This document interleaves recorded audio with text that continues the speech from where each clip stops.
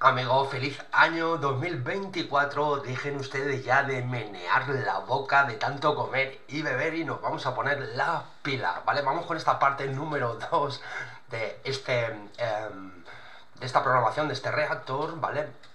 En el que nos quedamos eh, hablando eh, del tema de la seguridad. Empezamos a hacer el programa y yo les sugerí a ustedes que empezaran a, a realizar todas vuestras aplicaciones a través de la seguridad, ¿vale? Muy importante. De esta forma vamos a poder llevar eh, todo lo que es la programación del sistema de una manera controlada, ¿vale? Aquí, como os comentaba, hay muchísimas, muchísimas formas de crear la seguridad. Os comentaba en el croquis de lo que es la instalación de este proyecto. Aquí tenemos la seguridad que había planteado. Voy a quitar eh, lo de la lámpara, ¿vale? Y la, y la sirena, eh, ahora no es importante. Pero bueno, aquí eh, está viendo, eh, estábamos viendo todos los elementos de seguridad que iba a tener este reactor, pero evidentemente, ¿cómo hacemos esto, Oscar? Esa es la gran cuestión, y es que esto va a depender de donde vayas a caer, es decir, de la empresa para la que trabajes. Y créanme, hay miles de miles de miles de miles de miles de instaladores. Yo ya he pasado por algunos de ellos, unos cuantos de ellos. Y em, cada uno pues, va a emplear pues, su metodología, ¿de acuerdo? Eh, este fabricante tiene un montón de productos relacionados con la seguridad. Vale, ¿y qué vamos a hacer, Oscar? Pues mirad, como comentaba, eh, es imposible, yo no tengo todos los elementos, es, eh, bueno, si sabéis de lo que estoy hablando, sabéis de la pasta de la que estamos hablando, pero en este tutorial vamos a programar eh, lo que es este reactor con un relé de tipo G9SR. Este sí que lo tengo, aquí lo tengo. Vale, y em, con este sencillo relé, ¿vale? Tiene dos entradas, tiene toda la electrónica, toda la em, electrónica que nos va a permitir conocer el estado del relé, lo vemos a través de esta comportecita que abrimos y aquí tenemos todos los LED de estado, no lo vais a ver muy bien, pero bueno. Y aquí tenemos dos, eh, digamos, dos ranuras de lo que son micro switch de configuración. Vale, os, una cosa muy importante antes de introducir en, el tema, y es que siempre consulten la, eh, la información del fabricante, ¿vale? Os lo recomiendo. Bueno, este relé eh, tiene un comportamiento eh, en función de la, familia, ¿vale? OnROM pone a disposición distintos tipos de relé para realizar operaciones de seguridad eh, muy definidas. ¿Qué es esto, Oscar? Pues mira, muy sencillo. por ejemplo, donde se requiera en un espacio cerrado, ¿vale? Donde haya una puerta, pues se requerirá una cerradura, un pulsador para poder entrar, consignar la seguridad, uno para pedir permiso y otro para consignar la seguridad, y otro quizá de reset, ¿vale? Y luego ya podríamos poner alguna otra cosa más, pero bueno, en esa eh, aplicación muy en concreto, este fabricante también está especializado con determinados productos que te permiten hacer, ¿vale? Esa aplicación que te he comentado solo con el relé. De tal forma que vamos a encontrar muchos relés que, pueden, eh, que podemos realizar este tipo de aplicaciones. Ojo, este, estarán dentro de la familia, creo que AD201 y en concreto vamos a utilizar este para realizar, eh, para seguir trabajando con, con eh, Studio programando este reactor. Después podemos hacerlo quizá con una CPU de este tipo de aquí y también voy a documentarme para hacerles el tutorial perdón, em, con este tipo de bloques, ¿vale? Aquí estamos ya mezclando lo que es un bloque de comunicaciones, lo tenemos en este lado izquierdo, y esto sí, sí que sí o sí, sí es una CPU de seguridad a la que le faltan poner en este, en esto, bueno, aquí a la izquierda eh, introduciríamos lo que son las eh, expansiones de entradas, de salidas, todo lo que nos hiciera eh, o fuera necesario para nuestro proyecto. ¿Qué ventajas ofrecen eh, este tipo de, productos, de tipología? Para mí, desde mi experiencia, pues evidentemente cuando tienes un proyecto donde realmente es gigante, pues al final tienes que estructurar eh, por partes, ¿vale? Por zonas, tienes que dividir tu máquina, tu proceso por zonas para luego ir escalando la seguridad, ¿vale? Piramidalmente o digamos eh, eh, sectorialmente para que al final pues podamos o se pueda trabajar evidentemente con, las condiciones de seguridad que se deben de dar.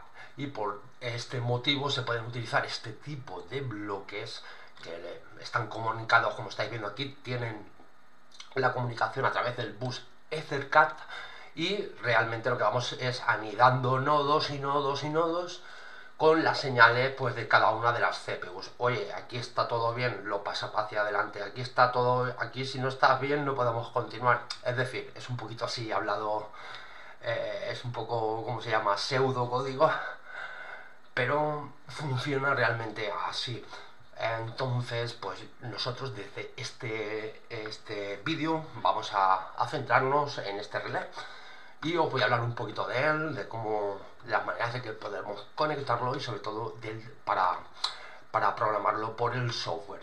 Bueno, os explico rápidamente que este relé también una de las características principales es que se puede lupear, ¿vale? ¿Qué es eso, Oscar? ¿Qué es eso? Muy sencillo, es que ahora yo cojo otro relé, lo pongo aquí al lado, ¿vale? Y realmente lo que estoy haciendo es una especie de conexión en paralelo, ¿vale? Para permitir la salida, las señales entre los módulos y que se puedan ir eh, formando lo que son cabeceras.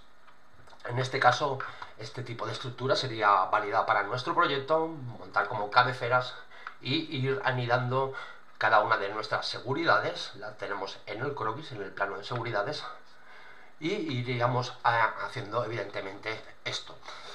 Vale, em, para realizar eh, este ejercicio y no marearos mucho en la parte de software, lo que vamos a hacer es crear simplemente una tarjeta, vamos a crear, vamos a poner una tarjeta de, entradas, ¿vale? Y vamos a simular que se va a ser nuestro relé de seguridad. Creo que todo va a estar centralizado en ese hardware, lo vais a tener más claro porque es en ese hardware donde se realizan las operaciones de seguridad o se consigna o se tira abajo la seguridad en función de las señales. Bueno, vamos allá. Como os comentaba, amigos, quiero mostrar información importante. Eh, bueno, está en la página del fabricante. Os recomiendo siempre, si tenéis algún problema con las familias, con las descripciones, etcétera, que visitéis siempre la, la página del fabricante y donde pone productos en el buscador pues podemos poner, por ejemplo, em, la información que necesitamos, ¿vale? Esto ya lo he dicho, ya me quedo tranquilo. Mm, vale, otra cosa interesante, bueno, aquí hay más de lo mismo.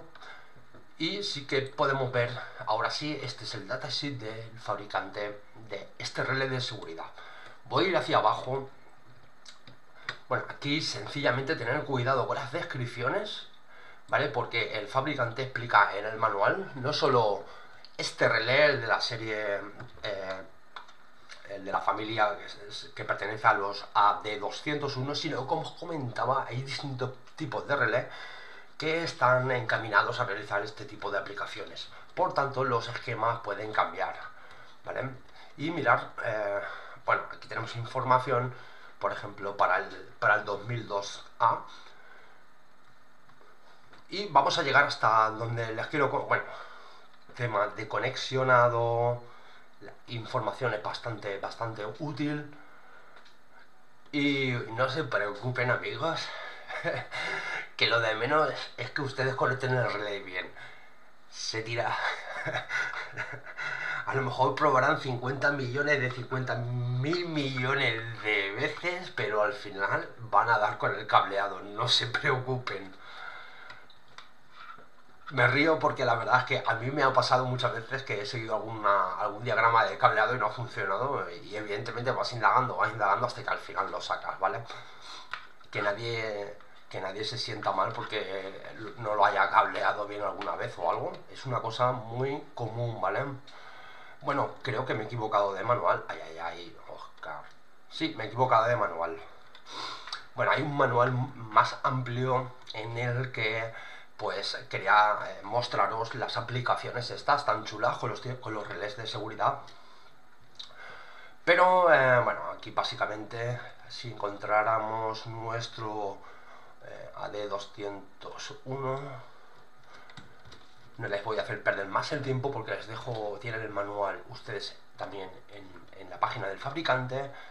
Y bueno, tenemos datos técnicos, aquí tenemos las familias, en este caso eh, estoy buscando la mía. Bueno, información, ahí la tienen. Vamos a ver a términos de lo que es de, software, como cómo vamos a encabezar esto de la seguridad, ¿vale? Si utilizamos este tipo de seguridad. Vamos a Mac Studio, yo ya lo tengo abierto y aquí está el programa donde me quedé. Lo primero que vamos a hacer es irnos a nuestra etapa de Rearme, recuerdan, en Rearme aquí controlo toda la seguridad de mi programa y además realizo los rearmes oportunos de fuerza en función del relé que me cae y de la fuerza que quiero suministrar eh, a mi sistema, ¿vale? Eh, porque aquí solo hay un rearme, amigos. Les estoy contando eh, les estoy contando cómo programar este reactor porque realmente no tenemos zonas, no tenemos sectores, está todo muy eh, en el mismo lugar, ¿vale? Pero yo creo que con esta plantilla, si la pillas, puedes crear ya tus propios sectores. Y de esta forma, en, tu sección de rearme, puedes tener tantas zonas y sectores como quieras. Esto es un, eh, un código muy ladder, muy, muy, muy, muy ladder. Por favor, amigos, si alguien se pierde o algo, déjamelo en los comentarios, que te echo un cable, no hay problema. Y todo esto lo vamos a reestructurar para que veáis las capacidades que podemos eh, eh, que, tenemos con Sigmac Studio. Y em, como os comentaba, vale, importante, relé de seguridad. ¿Qué pasa aquí, amigos? ¿Qué pasa aquí? Para comprender qué pasa aquí, tenemos que saber cómo se comporta eléctricamente un relé de seguridad. Vamos allá. Y la mejor forma de verlo es mostrándole uno de los planos, ¿vale? Eléctricos. Aquí, en este caso, le voy a mostrar esta, este ejemplo, no pertenece a este proyecto, pero es de una de las empresas para las que he trabajado, en las que tenían un, eh, las que tenían un departamento de ingeniería eléctrica bastante bueno que realizaba este tipo de documentos. Me vas a decir, Oscar, ¿qué coño es esto? Oscar, yo ya lo he visto. Oscar, créanme, es que estoy en otro país y los ojos estoy perdiendo vista. Para que ustedes me entiendan, estoy perdiendo vista. Y la verdad es que a veces la, ignorancia gana la razón. ¿eh? ¿eh? fíjense ustedes cómo está este mundo, pero créanme que esta es la mejor manera de documentar un relé de seguridad. Parte izquierda tenemos en cada una de las columnas exactamente cuál es el dispositivo de seguridad, Z, micro, eh, lo que sea, pero está bastante, está bastante definido este contacto cerrado, ¿vale? Que, eh, bueno, esta nomenclatura pertenece a otro proyecto, pero eh, como os comento, para mí es muy importante compartir información de calidad y créanme que he visto planos que son un auténtico desastre, desastre Dios, ¿vale? Hay gente que mete en el plano tanta información que se piensa que esto va a venir genial. No, un proyecto eléctrico se documenta y tiene una serie, ¿vale? De puntos que hay que, eh, pues que hay que mantener en función de unos estándares y no hay que inventarse nada. Este es el relé de seguridad, lo tenemos aquí, ¿de acuerdo? Em, para que el relé de seguridad, ¿vale? Pueda activarse, como estáis viendo, todos estos contactos deben estar cerrados. ¿Qué son todos estos contactos? Pues todas estas bobinas. Mirad qué sencillo, qué esquemático. De aquí a aquí, nos lo dice la referencia cruzada, eh, perdón, la referencia cruzada 5, 6, 5, 6, 5, 6, 5, 6. Esto significa que la página número 5, si el diseñador ha diseñado bien, en la columna número 6 encontrarás este contacto normalmente, eh, este contacto normalmente abierto, que está aquí, como bien define está en la columna número 6, ¿lo veis? Este, aquí se le ha corrido un poquito, como estáis viendo, pero bueno, se puede dar por hecho de que los hilos o, las definiciones eléctricas están en columnas, lo que se puede seguir rápidamente el plano y yo creo que alguien que no tenga ni idea le dices que esto es una pila, que este es el positivo y este es el negativo y creo que sabe cómo funciona, ¿eh?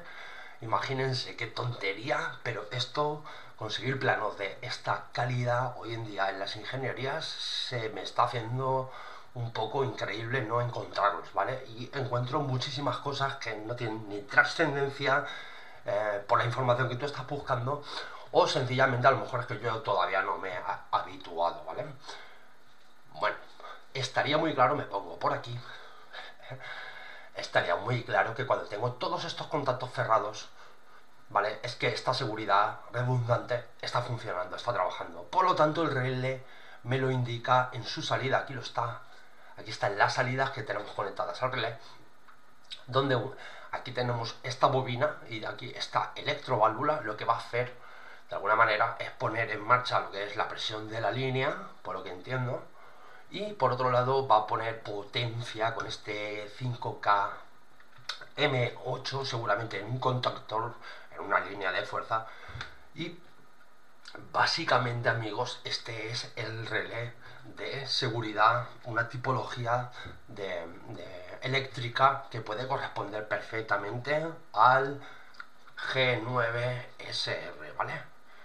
¿Habéis visto qué sencillo? Bueno, pueden diferir por el modelo, ¿vale? Pero vais a encontrar una, una conexión muy similar, ¿vale? Bueno, me quedo muchísimo más tranquilo que ustedes conozcan realmente qué es, lo, qué es lo importante cuando vamos a un plano eléctrico para extraer nuestra información. Y es muy importante quién diseña esto, por supuesto que lo es. Um, yo eh, me declino por este tipo de diseños, ¿de acuerdo? Fáciles de, de, comprender. Eh, creo que en dos minutos, como muy tarde, dos minutos, no más, eh, uno, cualquier persona que esté en este mundo va a comprender, ¿sabes?, este plano eléctrico. Puede haber luego algún error o algo en cuanto, bueno, tendríamos lo que son las formas de conexión, ¿vale? A las bornas y al número del bornero, el que va conectado, tanto, ¿vale? El lazo este de aquí como, como la otra parte del extremo de lo que es la, pantalla en este caso, la seta de la pantalla, ¿vale? Vale, pues ya está, vamos a Sigma que estudio y recordar, mirad lo que estamos viendo aquí, es que estamos viendo contactos abiertos cerrados. Os recuerdo que cuando fuimos a nuestro programa teníamos em, em, eh, habíamos definido, esto no está así, yo lo acabo de cambiar hace un poquito, ¿vale? Y habíamos definido que los contactos estaban aquí abiertos, ¿vale? Y aquí cuando estaban cerrados es cuando decíamos que había que rearmar el relé. Es decir, nos ha cambiado un poco eh, la manera de funcionamiento. Es decir, tenemos estos contactos de aquí, ve, físicamente estos contactos deben estar normalmente cerrados, ¿vale? Para dar paso a setas, que es esta variable, ojo, es una variable, ¿vale? No, es una, una entrada, una salida física. Lo mismo sucede con todos los elementos de micros, ¿vale? En este caso los he puesto como normalmente cerrados porque son contactos normalmente cerrados y justamente si alguno de los dos, ¿vale? O cualquiera de los dos eh, están abiertos, enseguida me va a resetear micros, es decir, hay, algo, hay, alguno de los, de, los micros o que no ha funcionado bien, o que se ha roto, o sencillamente que se ha abierto una puerta, ¿vale? Bueno, pues eh, realizando este cambio vamos a hacer una simulación y os voy a presentar otro problema. Esto, bueno, no es un problema, son em, cosas que nos van saliendo a lo largo del diseño, pero que tenemos que ir... Em, Em, no, es un error, ¿vale? Es la interpretación de lo que estamos haciendo. Me voy a poner por aquí abajo y voy a aumentar ahora la pantalla. Voy a quitar esta ventana, no la vamos a utilizar, quizá ustedes puedan ver mejor. Mi simulador, como siempre, ¿eh? de la Fórmula 1, ¿eh? Bueno, dados, eh, yo cuando termine este proyecto voy a subir toda la información, también el programa si lo queréis.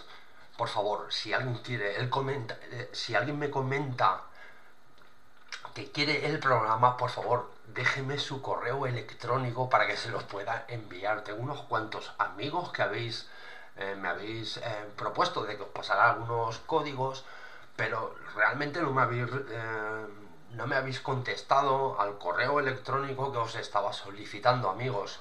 Envíenme su correo electrónico y les envío siempre los ejemplos o los documentos del proyecto. Aunque estoy estudiando algo para poder colgar los todos los documentos en un lugar y que ustedes puedan acceder. Estoy viendo todas las posibilidades.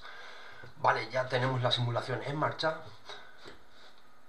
Y ahora sí... Em, vale, espera que me pongan... Voy a ampliar un poco para que les pueda ser más sencillo verlo. Les recuerdo, eh, bueno, eh, vale, aquí eh, ahora hemos iniciado la seguridad y mirar qué pasa. Aquí hay algo extraño, ¿eh? Díganme, ¿vean, ¿ven algo extraño o no? Vale.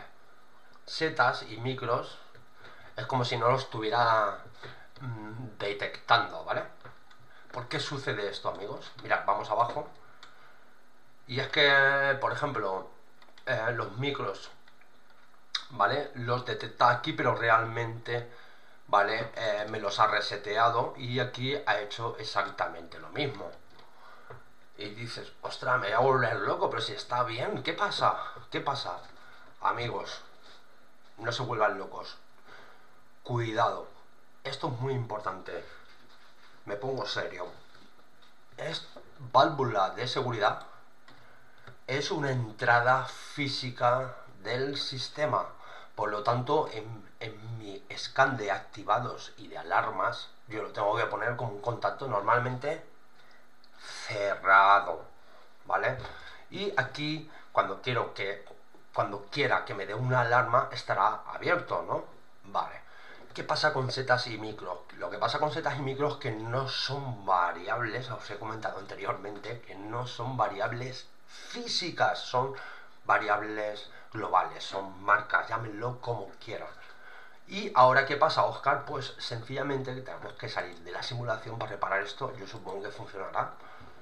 Pero es que no tenemos que considerar setas ni micros como contactos normalmente cerrados en nuestro árbol. Porque son marcas. Y estas marcas se activan, ahora sí, cuando físicamente estas entradas que tenemos aquí, pues están normalmente cerradas. Y se desactivan cuando están normalmente abiertas. Equilicua, vamos a probar. Es decir, vamos a quitar aquí el cerrado. Y eh, en este caso, sí que es cierto que cambiaríamos aquí cuando no esté alguno de ellos, que es cuando pierda la señal del otro, que se me lo se resetea, ¿vale? Vamos allá, ahora sí voy a guardar este cambio en el programa la parte 2, vale. Estamos en la parte 2 de este programando este reactor y mm, vale, no hemos empezado ni siquiera a programarlo, estamos configurando, estamos saliendo, estamos indagando cómo coger este, este programa y, coger otros muchos más, estos procesos o, una máquina. Voy a simular y creo que ahora va a funcionar bien. Bueno, tener, uy, mi micro que lo rompo, ¿vale? Ay, ay, ay. Bueno, tener cuidado con esto, ¿vale? Porque es importante, si no te vas a volver loco, ¿vale? Si creas una variable, una marca, ya no se comporta como un contacto normalmente abierto o cerrado, ¿vale? Es una marca que está o no está. Fails, eh, true, es cero, es uno, como quieras. Entonces, evidentemente, tenemos que seguir con este comportamiento en nuestro programa fíjense que solo son estas dos y están en el ámbito de la seguridad. No es una cosa que no... Em, es una cosa que pudiéramos habernos dado cuenta o no, dar, o no darnos cuenta si no tenemos un poco así... Mirad, ahora como os he dicho, sí que entra ya directamente en, ¿vale? en las condiciones que, en las que están. ¿vale? Está activado mi relé de seguridad porque la válvula de seguridad está bien y tengo las setas y los micros de mi proyecto eh, eh, están eh, pues están rearmados, ¿vale? Están normalmente cerrados ese contacto eléctrico. Bueno, pues desde este punto programar nuestro relé de seguridad lo estamos haciendo ya pero quizá a lo mejor como que estamos trabajando todavía con estas variables globales y todavía no son entradas o salidas del sistema. Vamos a arreglar esto, vamos a detener esto, vamos a arreglar esto para que parezca, para que parezca no, para atribuir ya físicamente que estas variables pertenecen a entradas físicas. Vamos a configuración y ajustes, bastidores de la CPU, bastidor de la CPU, vamos a añadir, como os he comentado, una, eh, una tarjeta de entradas que va a simular este relé de seguridad. ¿Vale? Lo vamos a hacer así para hacerlo rápido. Y aquí tenemos un montón, me quito la cabeza por aquí, porque tenemos entradas, bueno, aquí tenemos, vamos a coger una PNP, a ver si encontramos de 8, de 12, aquí, esta es NPN, PNP de 8, la I de 42 y la arrastro hasta aquí, ¿vale? Vale. Esto es un ejemplo, ¿eh, amigos? Ahora vamos a hacer lo siguiente. Tenemos que irnos al mapa de entradas y salidas. Vamos a dar de alta esta... Es una manera de decir... Eh, a esta placa, ¿vale? Vamos a la configuración de las entradas y las salidas bueno, estas son las que tienen integradas el, el, NX1P2.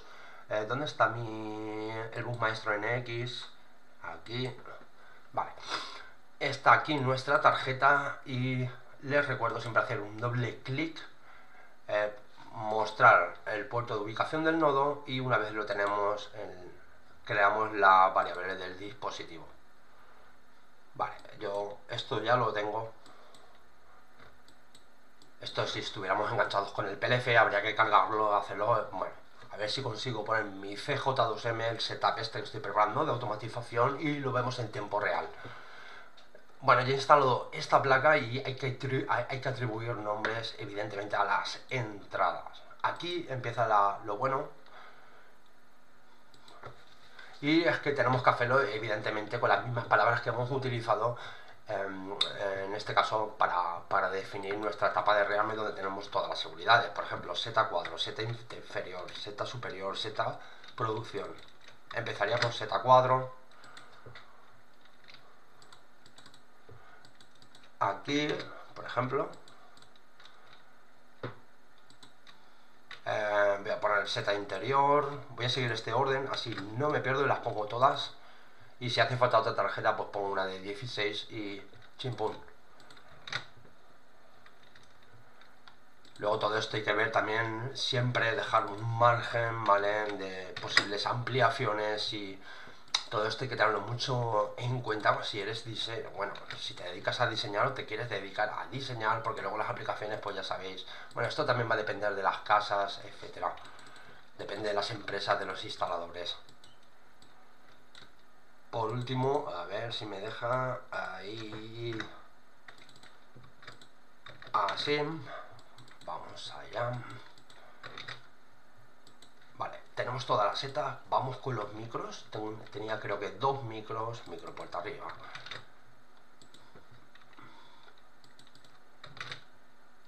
Y tenemos también este de aquí. Esto lo tendríamos que haber hecho al principio, ¿vale? Hay que definir la tabla de variables con, el hardware, pero he querido empezar desde, la, eh, desde, este planteamiento para que veáis también que mm, se puede hacer si lo haces bien y que no es ningún problema. Y además, eh, para la gente que viene nueva, que no sabe cómo abordar un proyecto o programar una máquina, yo creo que les será interesante también.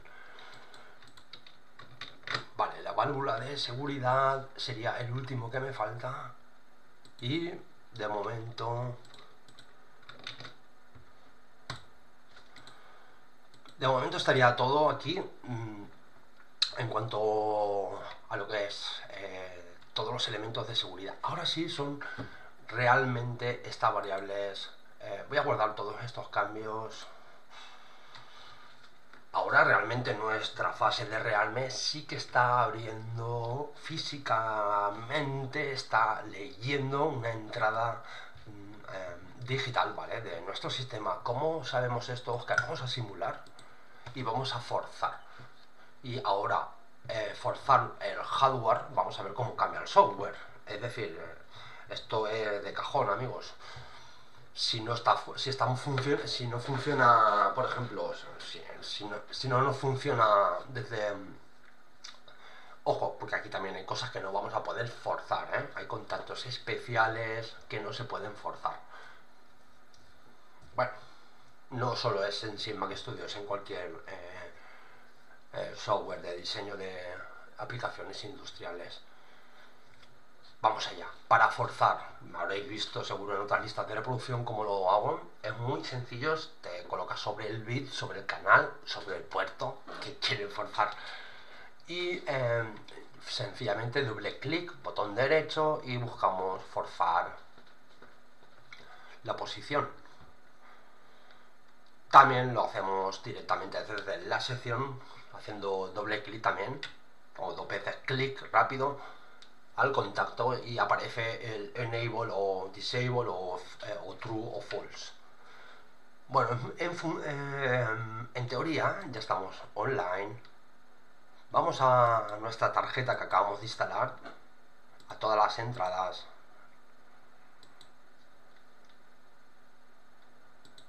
Vale, eh, vamos a coger por ejemplo esta Z, me sitúo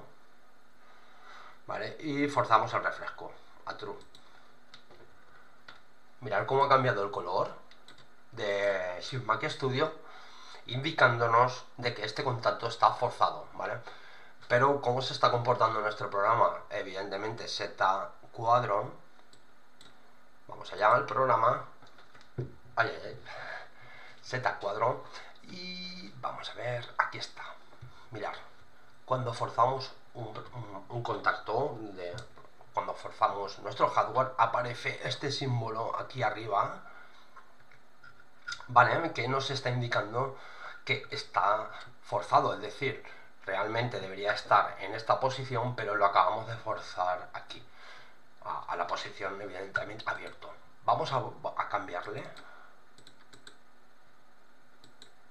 Aquí le cambio bueno, a veces esto sí raya y es con la simulación, ¿eh? No se, no se vuelvan locos. A mí esto me ha pasado muchas veces.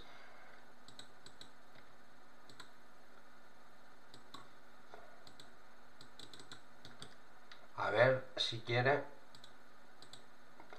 Vale, vamos a hacerlo desde aquí. A ver si me deja... No, no me deja, indica ¿vale? Que está eh, bloqueado, ¿vale? Que está forzado y no me va a dejar cambiarlo. Bueno, a veces suceden estas cosas, no sé si a ustedes les pasa. Eh, déjenmelo en los comentarios, amigos, porque a mí esto me sucede muy a menudo y es que me pierde un poquito lo que es el hilo, ¿vale?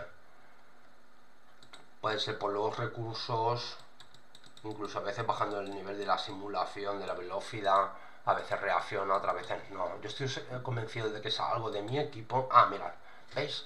Ahora sí que funciona. Digo, a lo mejor se van a pensar que estoy loco. vale, eh, lo vamos a devolver a false, que es la posición por defecto. Vamos a comprobar siempre nuestro código que esto se cumple. ¿Y por qué digo esto? Porque ojalá no os encontréis a problemas de falsas detecciones y este tipo de, de analogías porque vais a volver locos. A mí me ha pasado un par de veces y rezo para que no me vuelvan a surgir que son eh, em, son entradas o son salidas que están rotas pero que solo por la mínima polarización que recibe ya el diodo se están también eh, em, energizando y te vuelves loco, ¿vale? Al final, bueno, ya os hablaré en algunas, en, otros vídeos de cositas de este tipo. Bueno, y aquí ahora, eh, em, en lo que respecta al software, hemos corregido eh, nuestro, eh, nuestro programa para adaptarlo a este tipo de relés, ¿vale? Yo eh, em, en este caso he hecho como si todos colgaran de un relé de este tipo, ¿vale? Lo he simplificado en este sentido, ¿vale? Que no lo tenía que haber hecho así, porque realmente eh, las señales de relé irían a un módulo especial, ¿vale? Pero que no lo hemos cargado en este momento. Para cargar este módulo especial y todo este tipo de proyectos, de, equipos, perdón, em, deberíamos de irnos a insertar y insertaríamos el controlador de seguridad y todos los dispositivos que tenemos por aquí, ¿ves? Un controlador de red eh, y luego ya definiríamos... Em, em, qué, elementos instalaríamos de hardware. Nosotros lo hemos hecho de una manera simple, hemos hecho, creado una entrada, ¿vale? una tarjeta de entradas donde recibimos todos, todas las señales de nuestros dispositivos que están conectados. ¿vale? A términos de software ya no te cambiaría absolutamente nada, sencillamente que te va a quedar esto así. ¿Vale? El scan de activado y el scan de alarma se te va a quedar con uno cerrado, con dos abiertos y aquí con dos cerrados y uno abierto. Esto sucede porque yo estoy utilizando setas y micros como eh, marcas o variables eh, globales. ¿Y por qué hago esto? Y ya os lo comentaba en el siguiente vídeo, amigos. Os lo voy a poner también arriba de mi cabecita el enlace para que los que venís eh, o los que llegáis nuevos podáis visualizar el otro vídeo, ¿vale? Em, bueno, aquí lo importante es que se queda bastante bien, está bien. Vamos a hacer una prueba última para asegurarnos de que nuestra fase de marcha paro, para poder activar nuestra máquina, nuestro proceso, nuestro reactor, necesitamos tener la seguridad rearmada.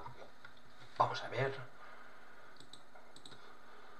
Vamos a ejecutarlo. Y eh, también quería compartirles, mientras que se Em, se prepara la simulación, em, aquí os hablaba de lo que es el loop, ¿vale? Muy interesante, muy importante de este tipo de relés, ¿vale? En el que podéis hacer un loop, ¿vale? Anidando otros dispositivos, que sería...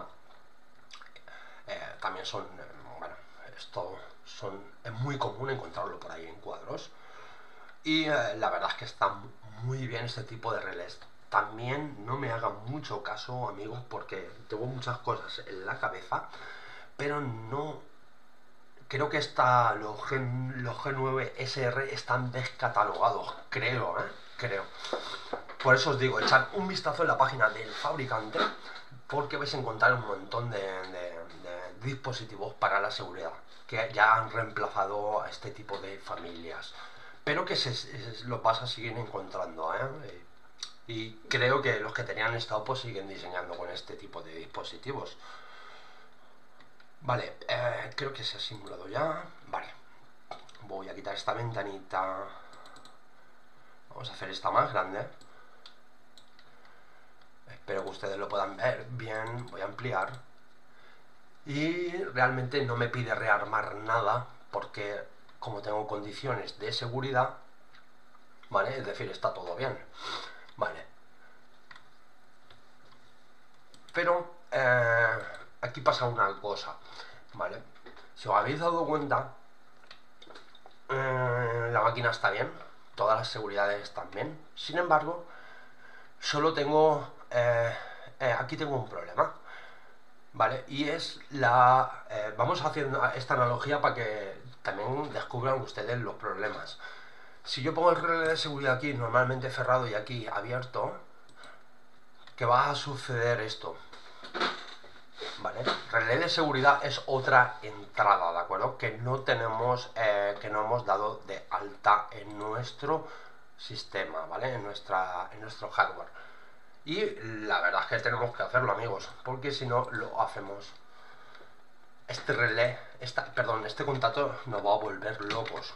Es decir, volvemos a nuestro bastidor de expansión, perdón, a nuestro mapa de entradas-salidas, bus maestro, creo que me queda una entrada libre, lo voy a poner aquí,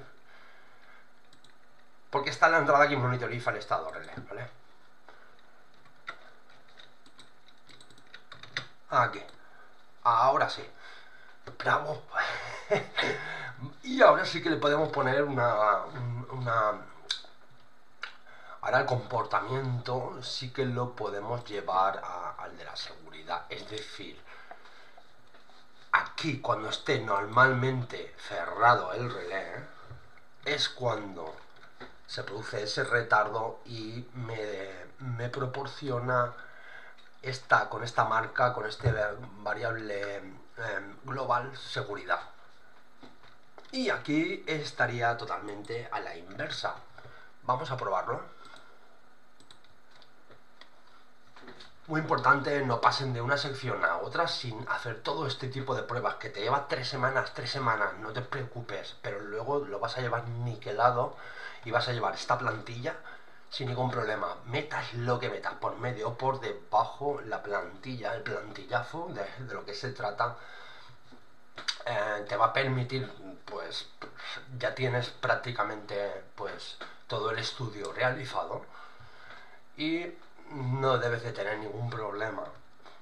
No estamos haciendo cosas eh, complicadas ni nada. A veces la industria no es tan complicada como parece somos más nosotros los que nos complicamos la cabeza y también sí que es cierto que hay aplicaciones muy, muy, muy complejas, pero bueno, no estamos todavía en ellas. Vamos a ver cómo se comporta ahora.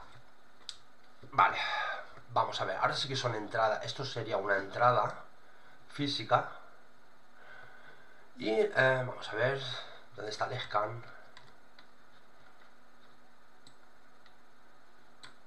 Mira. Mirar este, eh, la simulación, ¿vale? Los eh, este está aquí en intermitente, hay alguna cosa rara. hay aquí alguna cosa rara, vamos a ver. Pero esto es totalmente de la simulación, ¿eh? No es... O que no ha terminado. Ahí, está el lento este simulador, eh, eh, el simulador y mi grabador, los dos.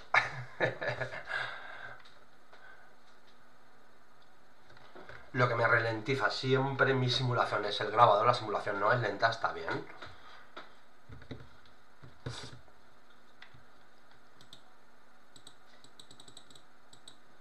Bueno,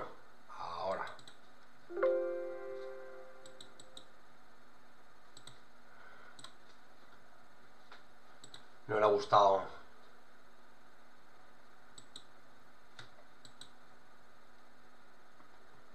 Quizás el cambio que les hemos hecho, ¿eh? Al amigo. Vale, vamos a ejecutar.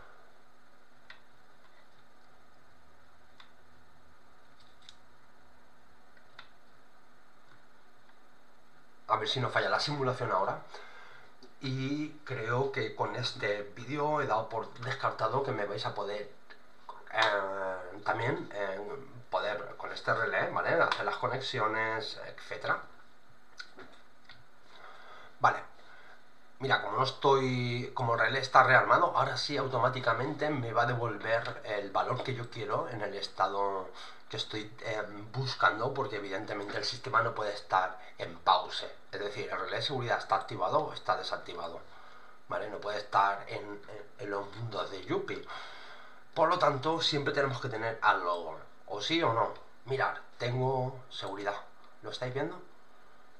Directamente cuando ha cargado el programa, ha analizado ¿vale? las entradas y al estar normalmente cerrada el relé de seguridad que lo está detectando, aquí tengo mi seguridad. Que si me voy a mi siguiente paso, que es marcha paro, es decir, ya rearmado todo este problema, ahora que viene después, os comentaba, viene esta fase, ¿vale?